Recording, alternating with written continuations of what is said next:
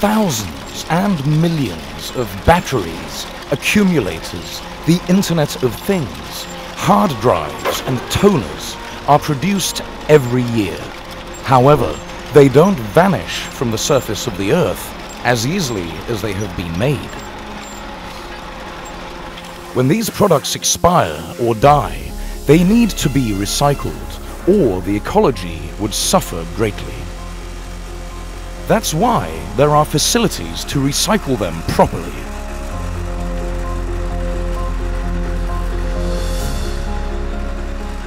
This facility takes these dead electronic products and reincarnates them by giving them a second chance to live as new products.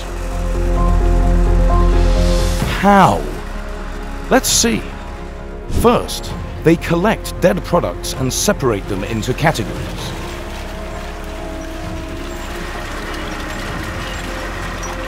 Then, they start to break, disintegrate and detach these old products to make the process easier.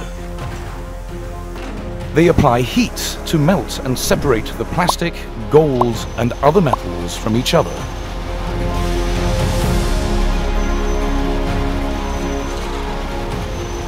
Buraya buradaki atıklar işte belediyelerden, market zincirlerinden geliyor ve biz bunları buradan ayrıştırıyoruz. Aynı şekilde piller de bu şekilde. Farklı kategorilerde farklı kırıcılara gidiyor ve bunların içerisindeki e, değerli malzemeleri kazanıyoruz. Afterward, they put the molten products into cold water to cut the plastic into pieces as raw materials.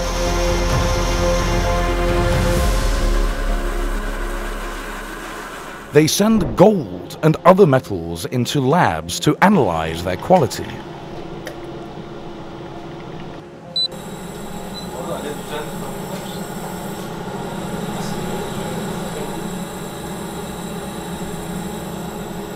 Atık denen bir olay yok. Eğer ki uygun prosesler varsa bunların hepsi tekrar ham madde olarak geri kazanılıyor. Siz ne kadar çok e, geri dönüşüm yaparsanız doğayı da bu kadar az kirletirsiniz. Yani bugün siz bir bakırı geri dönüşümden elde ettiğiniz zaman %15 enerji harcıyorsanız bunu topraktan elde ettiğiniz zaman %100 enerji harcıyorsunuz.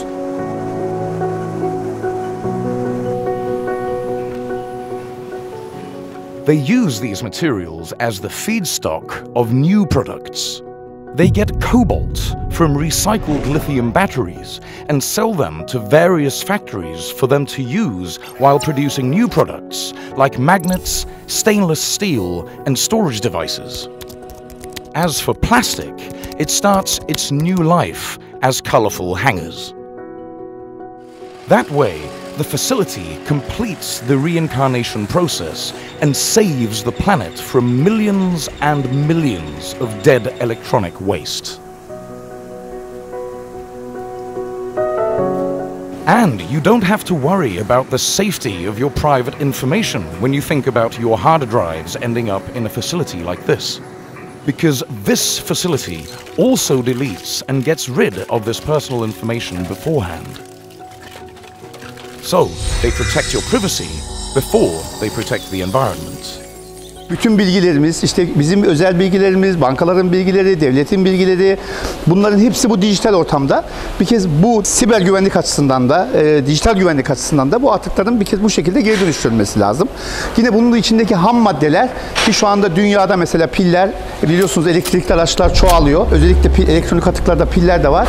Bir pilin içerisinde kobalt var, nikel var, grafit var, lityum var ve bunların hepsi dünyanın farklı farklı ülkelerinden geliyor. Eğer bunları geri dönüştürmezseniz doğal kaynaklarımıza yükleniriz ve bu kadar doğal kaynağımız maalesef dünyada yok. They give a chance of a fresh start for the e-waste, the hard drives that hold your past information and our future.